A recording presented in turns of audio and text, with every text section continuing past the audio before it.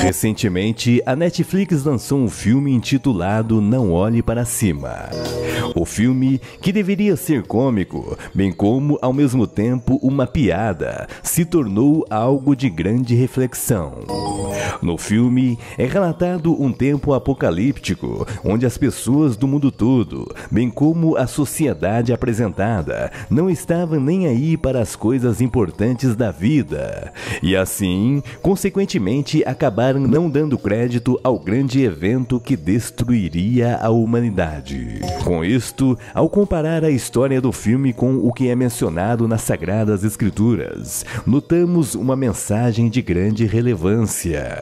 Na Bíblia, é mencionado que antes do mundo ser destruído no tempo de Noé com as águas do dilúvio, a humanidade sequer deu crédito aos eventos finais que sinalizavam o tempo do fim. E assim, ao observarmos tudo isto, uma grande pergunta se fez necessária: será que a humanidade hoje não esteja se comportando da mesma forma que a ficção retrata, e também do mesmo modo que nossos antepassados se comportaram mediante os sinais que antecederam a destruição do mundo com as águas diluvianas? Será que estamos tão distraídos com as ilusões do mundo que não estamos percebendo que de fato está acontecendo diante de nossos olhos? Assista este vídeo até o final e surpreenda-se com o tempo em que estamos vivenciando. Mas antes, dê o seu like, curta e compartilhe. Caso não seja inscrito, inscreva-se no meu canal e não se esqueça de ativar o sino de notificações para não perder nenhum vídeo interessante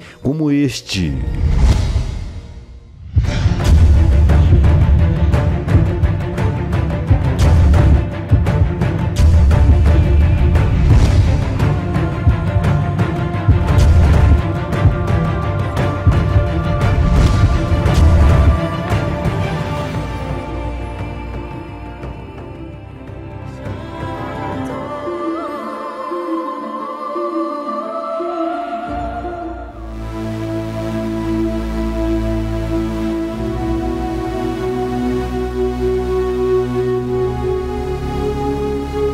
As Sagradas Escrituras contidas na Bíblia relatam que nos últimos tempos inúmeros sinais seriam apresentados à humanidade, como regra para os eventos finais que antecederiam o tempo do fim e, consequentemente, a vinda do Senhor Jesus Cristo.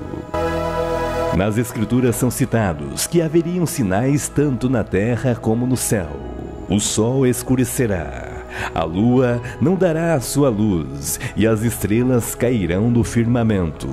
Sobre a terra haverá angústia entre as nações em perplexidade por causa do bramido do mar e das ondas. E haverá homens que desmaiarão de terror, e pela expectativa das coisas que sobrevirão ao mundo, pois os poderes do céu serão abalados. Muitos virão naquele dia dizendo: Eu sou o Cristo, e enganarão a muitos. E assim haverá rumores de guerras por toda parte, e nação se levantarão contra nação, reino contra reino. Haverá fomes, pestes, terremotos em vários lugares, e sereis odiados por causa do meu nome. E com isto, a humanidade, por se multiplicar a iniquidade, o amor de muitos. É citado nas Escrituras que Deus não tem prazer algum na destruição do ímpio, mas que este se converta de seus maus caminhos. E assim, quando observamos as histórias relatadas nas Escrituras, Deus é longânimo para agir, pois Ele é puro amor. No entanto, as pessoas se esquecem de que Deus, além de amor, também é justiça. Ele pode ser tanto o nosso advogado, bem como o nosso juiz. Seu maior desejo é que nenhum homem se perca, pois, como é dito nas Escrituras, se o meu povo que se chama pelo meu nome se humilhar e orar, e buscar a minha face, e se afastar dos maus caminhos, dos céus o ouvirei, perdoarei o seu pecado e curarei a sua terra. Na Bíblia, menciona inúmeros sinais do tempo do fim. Alguns já aconteceram, outros estão em pleno cumprimento. No entanto, importa que todas estas coisas aconteçam, pois aquele que perseverar até o fim será salvo. Porquanto, quando estas coisas acontecerem, olhai para cima e levantai vossas cabeças, porque a vossa redenção está próxima. Pois a palavra de Deus diz: Passará o céu e a terra, porém as minhas palavras não passarão. A grande pergunta é: quais sinais apocalípticos devem ocorrer ainda mais sobre a humanidade, para que ela desperte de uma vez por todas da distração que impera sobre o mundo e se volte para Deus?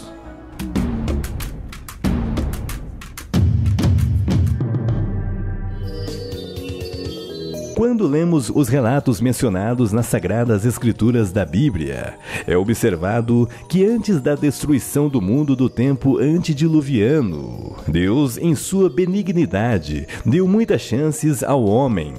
No entanto, a corrupção do gênero humano havia chegado a níveis agravantes, tal qual uma medida mais enérgica por parte do Criador se fez necessária. Naquele tempo havia gigantes sobre a terra, fruto da desobediência dos filhos de Deus que tomaram para si as filhas dos homens, por causa de sua formosura. Um ponto muito polêmico e bastante discutido, porque certa linha de pensamento diz que os filhos de Deus citados seriam os filhos de Sete da linhagem de Adão, que teriam se casado com descendentes de Caim. É certo que Caim não era de fato 100% humano, mas um híbrido de Eva com a serpente. Aqui no meu canal tem um vídeo em detalhes sobre este assunto. No entanto, se analisarmos bem, o cruzamento de humano com humano certamente não poderia gerar gigantes. E conforme é citado no livro de Enoque, o que teria de fato ocorrido naquele tempo foi que seres denominados sentinelas, vigilantes dos céus, ou seja, anjos caídos, que teriam se cruzado com as mulheres humanas, e assim gerado uma nova raça de seres gigantes sobre a terra, denominados de Nephilim. Então, as Escrituras mencionam que Deus, vendo a corrupção da humanidade, resolveu dar um fim e assim como é citado naquele tempo, as pessoas comiam, bebiam, casavam e davam-se em casamento, até o dia em que Noé entrou na arca e não perceberam. E com isto, as Escrituras dizem que de forma repetida, isto sucederia novamente nos últimos tempos, antes do grande resgate dos escolhidos dos últimos dias, o grande arrebatamento, um evento que ocorrerá da mesma forma que ocorreu nos tempos de Noé, onde as pessoas não perceberam que a porta da arca havia fechado, tal qual era a distração do mundo. A grande pergunta é: será que de fato as pessoas compreenderão quando um número considerável de pessoas da Terra desaparecer ou quando a destruição chegar por conta da corrupção da humanidade? O filme intitulado Não Olhe para Cima, de uma forma satírica, apresenta o mesmo cenário citado nas escrituras sagradas. É claro que o filme tem uma conotação cômica diante o descaso de muitos governantes em relação a coisas realmente importantes da vida, bem como o próprio descaso da sociedade diante da real condição humana. E sabemos que a vida imita a ficção, onde muitos fatos colocados de forma cinematográfica nos filmes que assistimos acontecem todos os dias diante de nossos olhos. E com isto, o filme Não Olhe para Cima é a mesma coisa. As pessoas estão distraídas e não estão observando os sinais que estão acontecendo no mundo. No filme é relatado uma grande massa de pessoas alienadas pela influência do controle midiático que se utilizavam dos meios de comunicação, impondo à sociedade conteúdos de pouca relevância à vida humana. E da mesma forma, retrata o que acontece no mundo hoje. As pessoas estão mais preocupadas com o relacionamento do seu ídolo querido do que com a própria importância do bem-estar de sua família. Elas discutem com qualquer pessoa a defender o seu time favorito, mas se sentem incomodadas quando alguém fala de Deus. Elas defendem suas opiniões políticas, bem como suas ideologias a todo custo, mas esquecem do amor de Deus, bem como o respeito pelo seu semelhante. E assim sacrificam sua liberdade, bem como seus valores morais, a fim de algo transitório. Coisas que no final das contas nos tiram do verdadeiro propósito da vida e nos afastam do amor do Criador. As pessoas estão hipnotizadas com o sistema que a cada dia quer nos aprisionar. E assim vivem mergulhadas na ilusão criada pela Matrix, não reconhecendo o dia e a hora que estamos a vivenciar. Elas esquecem que acima de todos nós temos um Criador e seus olhos estão por toda parte, contemplando os bons e os maus. No filme Não Olhe para Cima, dois cientistas descobrem que o meteoro está para colidir com a Terra e a humanidade resta um pouco mais de seis meses de vida para assim tomar uma atitude mediante os fatos. O resultado é que a mensagem da iminente destruição do mundo chega aos órgãos governamentais. No entanto, os líderes estão mais preocupados somente consigo mesmos. E hoje acontece a mesma coisa. As pessoas dão mais valor em suas posições sociais, bem como ao dinheiro, e acabam esquecendo-se da natureza, das pessoas menos favorecidas. Acabam esquecendo do trabalhador que luta dia após dia para defender seu sustento, bem como se esquecem do seu próximo que está ao seu lado, precisando de ajuda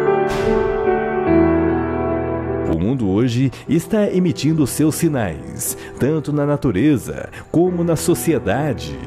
E até mesmo em filmes hollywoodianos que propagam a imoralidade e a decadência humana. Em filmes que de fato não tinham nenhum propósito de propagar a verdade divina no entanto, Deus utiliza a si mesmo de Hollywood a dar seus sinais à humanidade, a fim de que despertem do sono da ignorância e compreendam que Deus é o todo, o Criador do universo.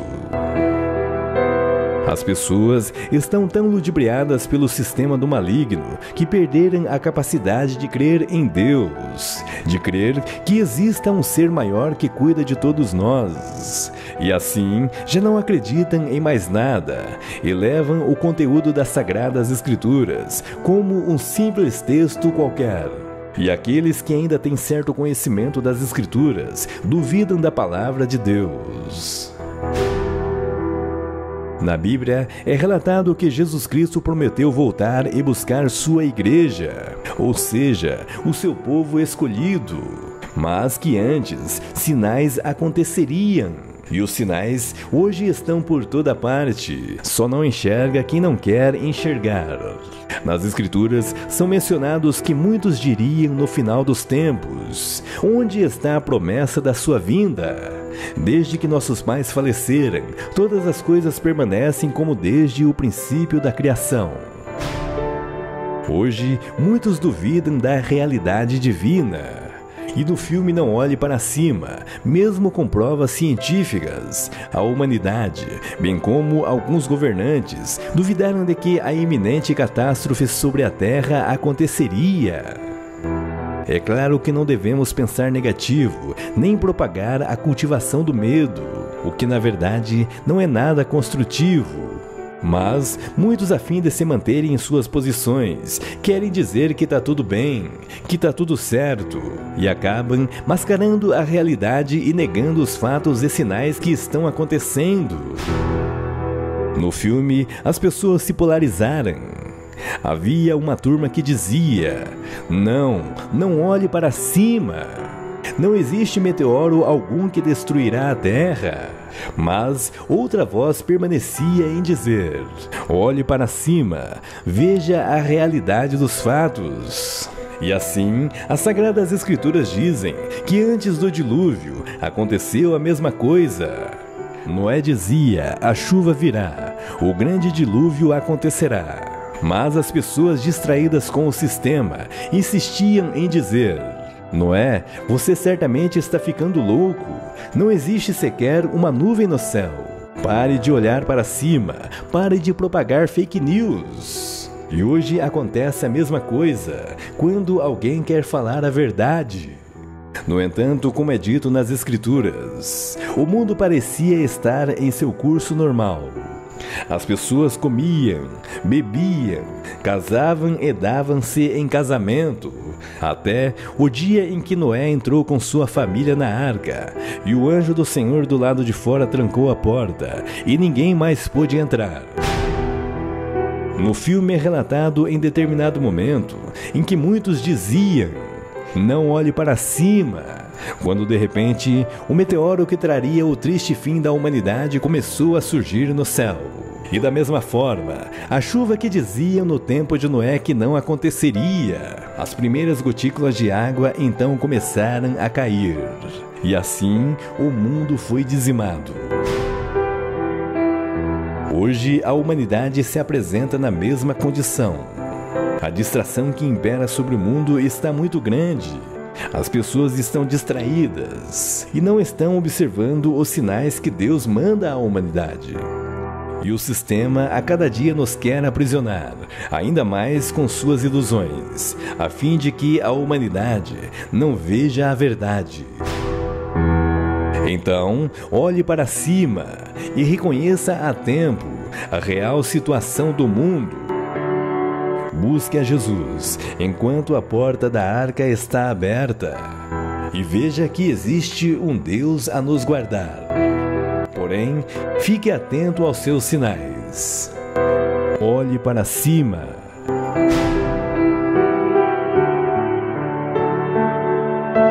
E aí, pessoal, tudo bem com vocês? Gostaria de saber qual a sua opinião sobre este assunto. Deixe seu comentário. Sua opinião é muito importante para nós. Caso não seja inscrito, inscreva-se em nosso canal e não se esqueça de ativar o sino de notificações para não perder nenhum vídeo interessante como este. Gratidão.